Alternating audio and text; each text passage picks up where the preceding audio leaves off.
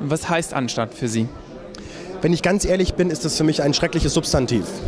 Wie alle Substantive davon ablenken, dass wir uns eigentlich mit konkreten Verhalten beschäftigen sollen, ist auch mit dem Begriff Anstand. Wenn Anstand meint sittliches Verhalten, Verhalten, das als gerecht, als moralisch empfunden wird, würde ich viel mehr, viel eher davon sprechen, sich anständig verhalten. Und wenn man dann fragt, was heißt anständig verhalten, dann hat das schon sehr viel, wie heute Abend auch herauszukommen, mit Kinderstube, mit Charakter zu tun, wo spätere Einflüsse wie Berufsleben, wie Universität sogar nur sehr gering in ihrer Wirkung sein können.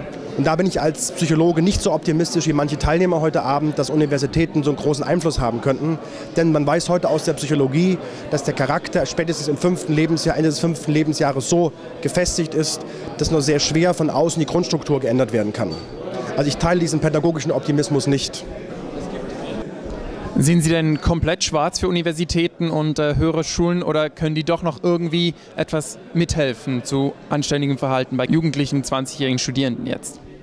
Ich bin da grundsätzlich sehr optimistisch, dass der Zeitgeist, zumindest was die jungen Leute betrifft, sich geändert hat, dass andere Fragen in den Seminaren gestellt werden, in den Vorlesungen, auch solche Veranstaltungen gut besucht sind, dass das Thema von einer peripheren Bedeutung in die Mitte des Geschehens rückt, also da, wo es weh tut, nicht als Rand- und Zusatzthema, als Add-on, sondern als ein Kernthema, wo die jungen Leute auch Fragen stellen, zu Recht Fragen stellen, auf die die vortragen, im besten Fall eine Gegenfrage, eine Lebenserfahrung, aber nie die letzte Antwort haben.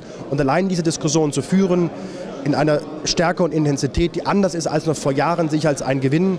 Und das ist schon eine Bestärkung derer, die sagen, naja, ich bin an der HSG, am Ende des Tages verdiene ich doch richtig Geld, ich mache das ganze Ethische noch mit aber letztlich, letztlich gehe ich zur Investmentbank oder wäre, werde Vorstand, wo das alles keine Rolle spielt. Und was wir heute Abend gelernt haben bei diesen Persönlichkeiten, die tatsächlich an den Schaltstellen der Macht sitzen, es macht einen Unterschied. Es gibt sogar Argumente, dass es sogar für das Geschäft letztlich besser sein kann. Vielen Dank.